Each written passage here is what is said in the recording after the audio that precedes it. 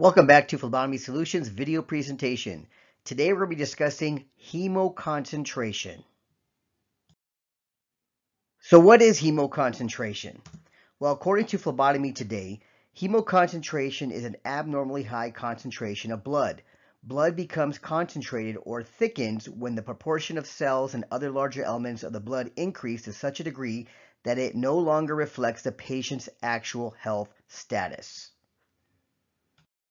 So what causes hemoconcentration? Well, one is the posture of a patient. Believe it or not, when a patient is laying down and is asked to sit up or even stand up, there is a, a raise in blood pressure, and during that temporary state, hemoconcentration is in the blood. So that means that the phlebotomist, phlebotomist attempts to draw blood immediately, that the test results will be inaccurate or could be inaccurate based on that temporary state of hemoconcentration. So we need to keep that in mind when the patient's lying down and we're asking them to sit up or to get out of their bed to sit down.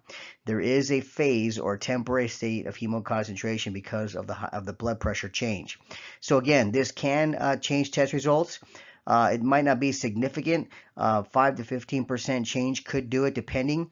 Uh, there'll be cholesterol levels or triglyceride levels that could be changed uh, dependent upon this hemoconcentration phase within the line to, to sitting to standing. And the reverse also if the patient goes from sitting, standing to lying down. So we got to keep that in mind. The second part is prolonged tourniquet time on the patient. We all know or should know that tourniquet should not be uh, placed on a patient longer than one minute. Anything over the one minute mark can result in hemoconcentration of the blood and again inaccurate test results. So we need to be aware that when the tourniquet goes on, we got to keep that one minute in mind. So if you're a phlebotomist and you think that you're coming to that one minute mark and you're going to be going over and there could be a chance of hemoconcentration setting in, then we need to release that tourniquet and hope that the blood flow continues. Some phlebotomists will release the tourniquet immediately after the needle goes in the patient. That's okay too, but a result of the tourniquet restricting blood flow, blood flow can cease and therefore the blood can also stop coming into the tube. So you got to keep that in mind. So so take the precaution on that that if you can leave it on longer while you're drawing blood, just keep the one minute in mind and release the tourniquet if you feel that it's going over the one minute mark. Number three is fist pumping before or during the blood draw.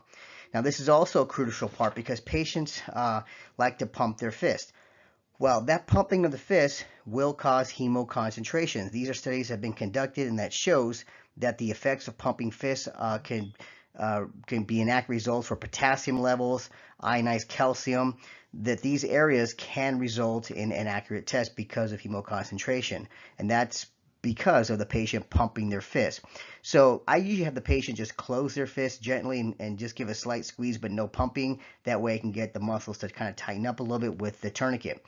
But again, I don't want them pumping the fish. We pumping the fist. We do know now that that it can cause hemoconcentration in the blood and of course inaccurate test results. So we need to keep these three things in mind in regards to hemoconcentration and what causes hemoconcentration. So some more good references on hemoconcentration.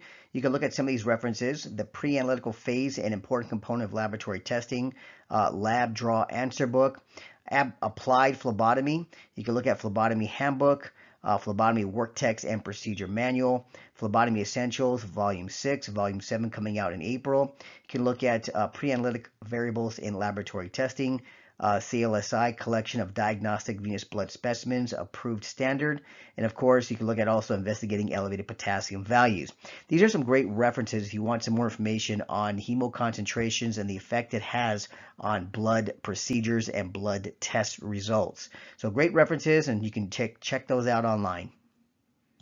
For more information, visit phlebotomysolutions.org and don't forget to like, share, and subscribe to this YouTube channel.